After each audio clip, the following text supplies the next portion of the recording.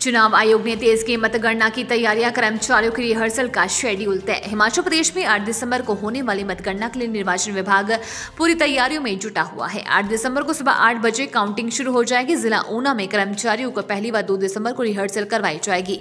Postal ballot paper की मतगणना से संबंधित रिहर्सल पहली दिसंबर को डीआरडीए हॉल ऊना व ईवीएम से संबंधित रिहर्सल दो दिसंबर को समूर स्थित कला केंद्र भवन में होगी।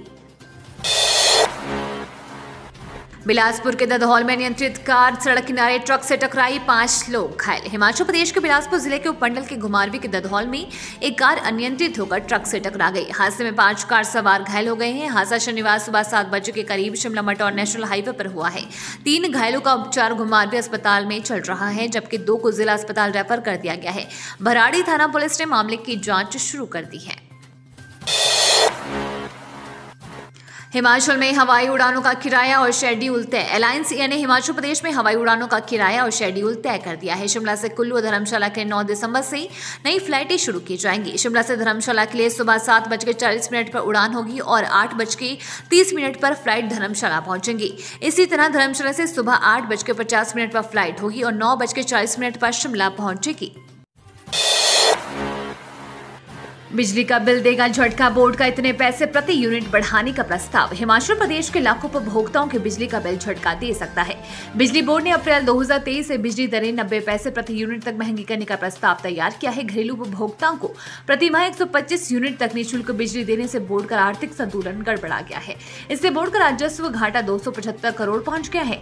प्रदेश में बीते तीन साल से बिजली की दरों में कोई बढ़ोतरी नहीं हुई है। बोर्ड को सरकार की ओर से हालाँकि अनुदान के तौर पर इस वर्ष सात 150 करोड़ रुपए दिए गए हैं। इसके बावजूद बोर्ड को अपना खर्च पूरा करना मुश्किल हो गया है। प्रति माह करीब 180 करोड़ रुपए वेतन और पेंशन के लिए बोर्ड को चाहिए होते हैं। ऐसे में राज्य विद्युत नियामक आयोग ने, बोर्ड ने याचिका दायर कर अप्रैल 2023 से बिजली दरों में बढ़ोतरी करने की वकालत की है। हिमाचल प्रदेश के करीब पच्चीस लाख घरेलू और अन्य श्रेणियों के उपभोक्ताओं को बिजली बोर्ड सप्लाई मुहैया करवा रहा है।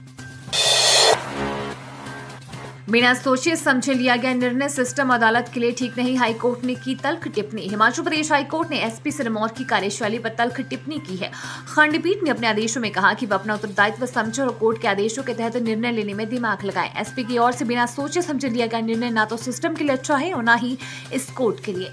न्यायाधीश तलोक सिंह चौहान और न्यायाधीश वीरेंद्र सिंह की खंडपीठ ने एसपी सिरमौर को दोबारा नियोजित आदेश जारी करने के आदेश दिए हैं। अदालत ने अपने आदेशों की अनुपालना रिपोर्ट आठ दिसंबर को तलब की है। है। पुलिस भर्ती मामले में हाईकोर्ट ने गत 15 नवंबर को एसपी सिरमौर को आदेश दिए थे कि वह याचिकाकर्ता के मामले में उचित निर्णय ले। याचिकाकर्ता संजय कुमार के खिलाफ भारतीय दंड संहिता की धारा दो सौ चौंतीस और तीन सौ तेईस के तहत आपराधिक मामला दर्ज किया गया है।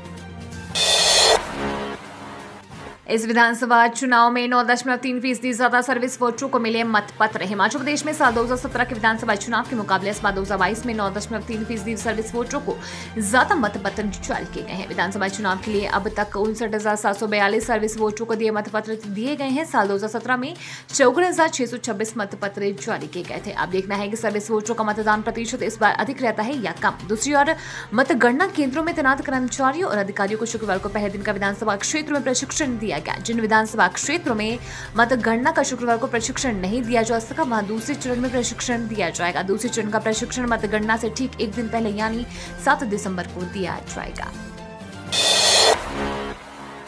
तीन सौ इकसठ करोड़ के बिजली बिल पेंडिंग, पंद्रह दिन बाद कटे जाएँगे कनेक्शन। राजस्व घाटे से जूझ रहे राज्य बिजली बोर्ड के करीब तीन सौ इकसठ करोड़ रुपए का बिजली बिल अभी तक पेंडिंग है। अक्टूबर 2022 तक हज़ारों उपभोक्ताओं ने बिजली बिलों की अदायगी नहीं की है। अब बोर्ड प्रबंधन ने वसूली के लिए डिफॉल्टर को नोटिस जारी करने का फैसला लिया है।